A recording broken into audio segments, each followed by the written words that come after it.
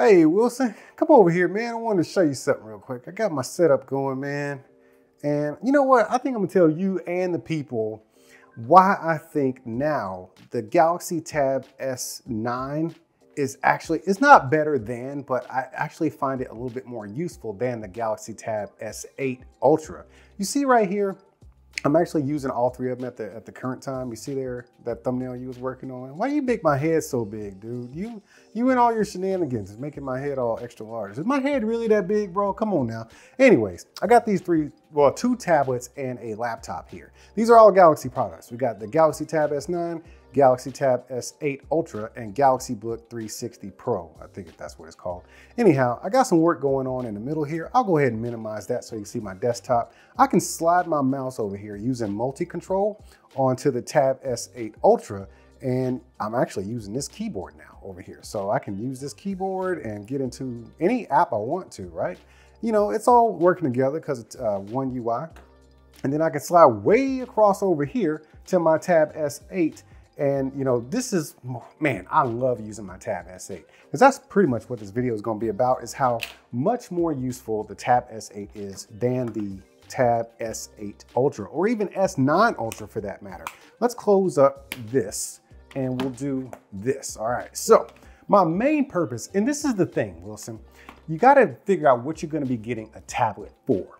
Okay, so some people say the Tab S8 Ultra and Tab S9 Ultra is a laptop replacement, which in a lot of cases, it, it could be true. Yeah, the Tab S8 Ultra is a very useful tablet. It's got a lot of utility to it, but it's also a massive tablet. Look at this, man.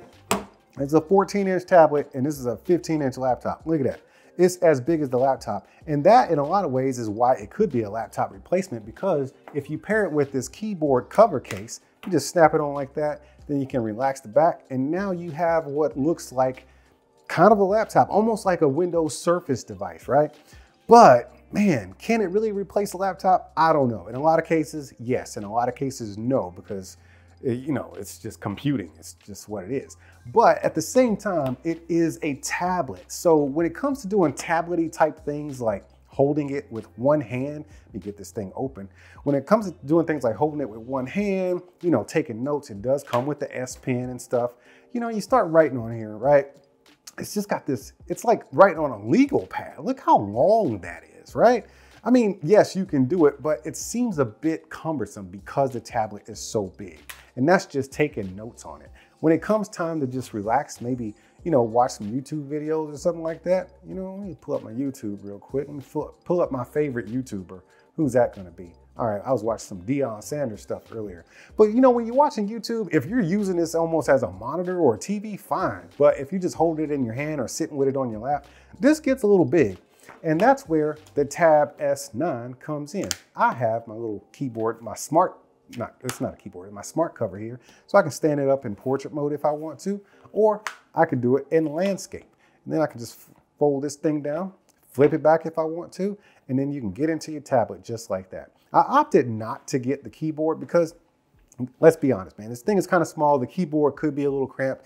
It is very useful when you have one. Sometimes I wish I would have bought it, but it is what it is. I mainly use this as a glorified notebook and it's also my planner and it's also my media device. So when I'm chilling in the bed, relaxing or whatever, or in a chair, I can just hold it one-handed, just like this. I'm just holding it, right?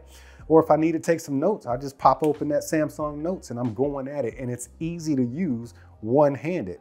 It's also great as a secondary monitor as you just saw. And I had it in portrait mode, but you could also do it as a secondary monitor in uh, landscape mode. Same with the Ultra, it's just not as big, so it doesn't take up as much space. And let's not even start talking about the weight uh, differences between the two. So for me, personally, because of how I use this tablet, and this is what's gonna determine it for you. How do you plan on using your tablet? For me, it turns out that the Tab S9 is a better tablet as far as being useful in my personal life. I wonder how many of you out there have figured out that you didn't need an Ultra device. You know, Ultra just sounds like, oh, I want the good one, right? It's the one with the best camera. It's the biggest screen.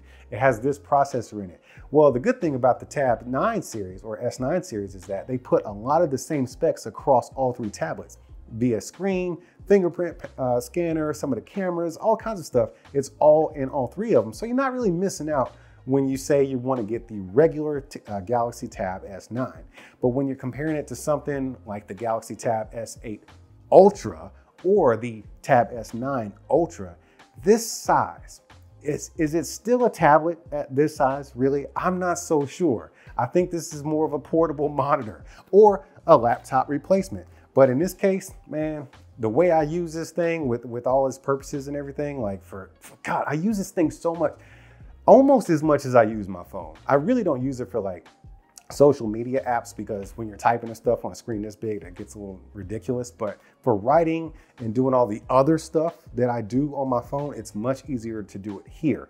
And even with a foldable device, this, this kills a foldable device. But um, this one just turned out to replace my laptop replacement. Does that make sense? The Galaxy Tab S9 ended up replacing my laptop replacement, which was my Galaxy Tab S8 Ultra. And the crazy thing is, that a lot of times, especially on trips, I've wanted to take the Tab S8 Ultra as my like solo device to do everything with as far as computing, but it just wouldn't work out because I can't really edit on this thing. Um, I use Premiere Pro, so I have to bring a laptop. So if I'm bringing a laptop, yes, sometimes I would want to bring a tablet with me because, you know, I want to tap like a bigger screen. And if I was going to bring the tablet by itself, we're talking about this weight again. And this thing is really hard to use without this back cover. Yes, it's much lighter, but now you just, you know, ugh. even with the back cover on it, still got a great hand-sized tablet that you can manipulate and get all your stuff done with, and it packs up nice and easy with your laptop. That way, it is a laptop companion not a laptop replacement. And that's why I like it so much over the ultra versions of the tablets. It's just me. I'm not an expert in this kind of stuff, but what I do know is I get a lot done with this combo right here and this Galaxy Tab S9 and 2023 has been killing it for me. Ah man, the only thing that makes me mad is that I didn't go for the uh, smaller tablet in the first place. Either way, I'll see you later, Wilson. You got to get out of here, man. You've been hanging around here way too long, man. I'm going to start charging your butt rent. Whoa, whoa, whoa, before you go, man, I forgot to tell you, me and my man Digital Slang decided to start up a new YouTube channel. It's where we hang out and debate different tech topics, and I'm usually right, he's always wrong. Either way, you should come hang out with us, so I'll see y'all over there.